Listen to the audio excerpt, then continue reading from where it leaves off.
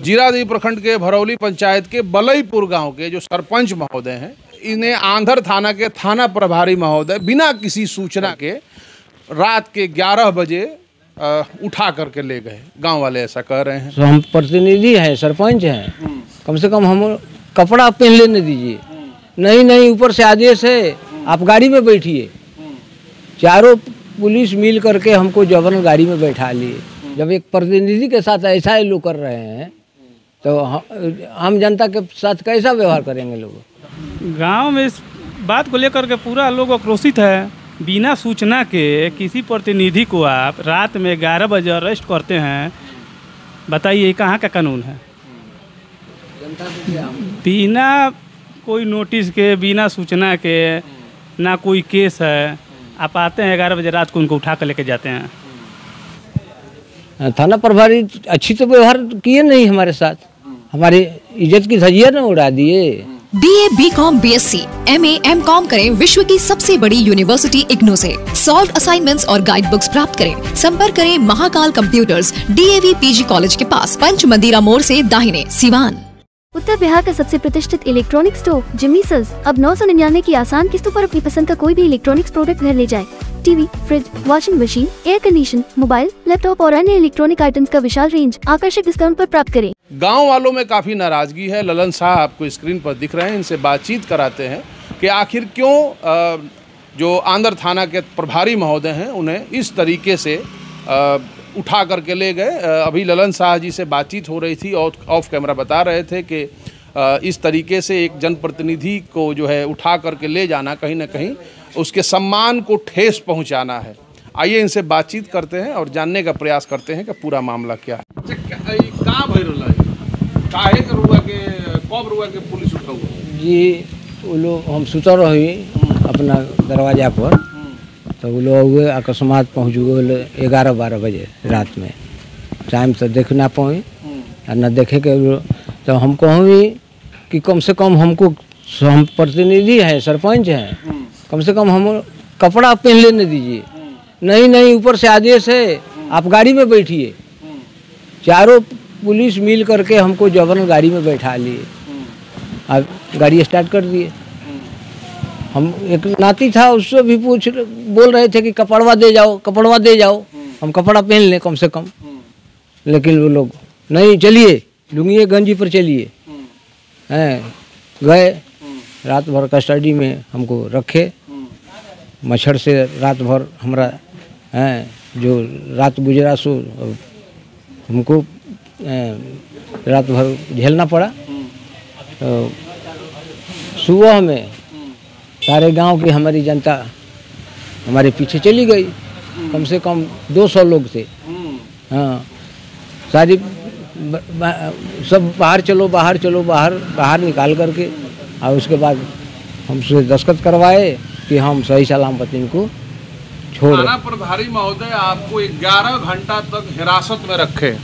हिरासत में आपको 11 घंटा तक रखा गया। आपने कारण नहीं पूछा कि क्यों बैठाए हैं इतना देर? उनका उनका- हमको बोले कि आप किसी सरकारी ज़मीन में काम करा रहे हैं। हमको ये सरकारी नहीं हमारा कसकारी ज़मीन है। हैं?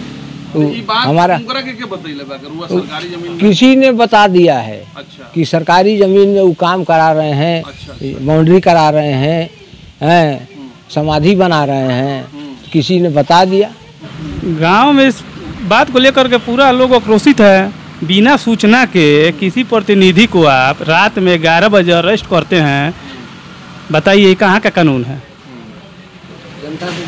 बिना कोई नोटिस के बिना सूचना के ना कोई केस है। आप आते हैं ग्यारह बजे रात को उनको उठा कर लेके जाते हैं। ये तो थाना प्रभारी का काम नहीं है। थाना प्रभारी का काम होता है कि पहले ज़मीनी विवाद में ये काम करा रहे हैं। इसका काम है सीओ वीडियो कर्मचारी का। थाना का तो काम नहीं है। थाना का काम कब होगा जब सीओ वीडियो बुलाएगा थाना कंप्लेन करेगा। तो थाना यहाँ पर आके कंप्रोमाइज़ करेगा काम को रोक लगाएगा। जब एक प्रतिनिधि के साथ ऐसा ही लोग कर रहे हैं तो हम जनता के साथ कैसा व्यवहार करेंगे लोग? इस ज़मीन पे आप काम करवा रहे हैं वो सरकारी ज़मीन नहीं है भावली ज़मीन नहीं है। वो किसका ज़मीन है? हमारा अपना ज़मीन है। अच्छा। हम कसकारी लिखाए हुए हैं। अच्छा अच्छा। हाँ। लेकिन सरकार के नज़र में है कि भावली है। अच्छा। तो भावली के लिए उन्होंने बोला कि सीओ साहब आ रहे हैं आप कागज़ पत्र लेकर के आइए देखेंगे कि आपकी ज़मीन कैसी है। हैं? ज़मीन तो- कब लिखवाए थे? बीस पच्चीस वर्ष हो गया है। पच्चीस तीस वर्ष बाबूजी थे उन्हीं का लिखाया हुआ है। उन्हीं का समाधि बना लिखवाए हाँ। हमारी बाबूजी लिखवाए थे। उसी ज़मीन में समाधि बनवा रहे हैं। उनका हाँ। वो भी सरपंच थे। अच्छा। बाबूजी हमारे सरपंच थे उनका समाधि वहाँ हम मरने के बाद बनवाए। दो हज़ार एक में दो हज़ार एक में बनवाए। कोई आवाज़ नहीं उठाया? ना कोई नहीं आवाज़ उठाया। जब बाउंड्री लगा- मारवा तो अकस्मात ये डॉक्टर साहब की गाड़ी मिली थी। वो चलाने के लिए सीख रहे थे। वो गियर लगाए अगला लग गया पछला। गाड़ी चढ़ गई समाधि पर। समाधि सब छितरा गया टूट गया। तो डॉक्टर साहब बोल रहे थे कि हम बनवा रहे हैं। हम बनवा दे रहे हैं हमसे टूट गया है। हम ये नहीं सर डॉक्टर साहब हम जो खर्चा लगेगा हम खुद बनवा लेंगे। वही समाधि को हम बनवा रहे थे। आ सोच रहे थे कि दस बीस ठो और आम का पौधा लगा देंगे। हैं? तो अच्छा रहेगा। उसका भी मर्यादा रहेगा समाधि लगाने का। इसी तो तो बोल रहे थे कि सरकारी ज़मीन पर आप काम करा रहे थे इसीलिए हम ले गए हैं। हाँ। तो आप पूछे नहीं कि आप बारह घंटा रात के ग्यारह बजे से दिन तो- दस बजे तो बड़ा बाबू जो- जो सिग्नेचर करवाए उन्होंने बोला कि ठीक है कोई बात नहीं है। आप जा सकते हैं। तो हाँ सिग्नेचर करा लिए हमको छोड़ दिए। थाने में आपके साथ किसी प्रकार से टॉर्चर किया गया? अभद्र व्यवहार कोई ना कोई अभद्र व्यवहार नहीं। है हाँ सिर्फ़ हाँ हाँ। क्या कहेंगे जिला प्रशासन से क्या मांग करेंगे? एसपी साहब से डीएम साहब से क्या कहेंगे? ये साहब से कहेंगे कि हमारी थाना हमारे हम प्रतिनिधि के इस तरह से कर कर व्यवहार व्यवहार कर रही है। हाँ यही कहेंगे। थाना प्रभारी महोदय के बारे में कुछ कहना चाहेंगे? हाँ, थाना प्रभारी अच्छी तो व्यवहार किए नहीं हमारे साथ। हमारी इज़्ज़त की धजिया ना उड़ा दिए। हैं? हम एक प्रतिनिधि हो करके भी जबरन हमको बैठा करके और लोग थाने में रात भर हमको रखे। हैं? और सुबह हमें सब कोई बात नहीं है छोड़ दिए सी साहब आएँगे तो आपकी ज़मीन का देखभाल वही कागज़ पत्र हम बोल रहे थे कि हम कागज़ पत्र ले रहे हैं। हाँ, आप दिखा लीजिएगा कैसी ज़मीन है। हाँ, लेकिन कोई सुन नहीं रहा था ना चलिए गंजी पर लुंगिए पर चलिए। हाँ। हम इनके नाते हैं। हाँ इनके पास हम ही थे। वो आए और बोले लालन शाह का घर यही है। तो हम बोले हाँ यही है। और इनको बोले कि वहाँ पे बन रहा है समाधि आप ही का। तो बोले हाँ इन्हीं का। उसके बाद बोले हैं कि थाना पर आके बात करिए। और उसके बाद उनके बड़े साहब का फ़ोन आया तो ज़बरदस्ती बोले इनको धक्का देकर लेके गए ज़बरदस्ती। जब हिरासत में लिया गया तो थाना प्रभारी महोदय भी थे हाँ, साथ में। हाँ। या थाना के और स्टाफ लोग थे? चार लोग आए थे स्टाफ को थाना प्रभारी थे उसमें? हाँ। थाना प्रभारी थे। जी हमको तो सुबह पता चला हम जब ला- ला- लाटरीन होके आए। लाटरीन होने के बाद आए तो हमको मालूम हुआ कि भाई ऐसा ऐसा है। फिर मैं सोचा नहा धोआ के मैं चलूँ उधर। जब तक वजह पता चला गया हमको वज़न नहीं भाई किस लिए गया? आप भी गए थे थाना में? ना मैं नहीं गया था।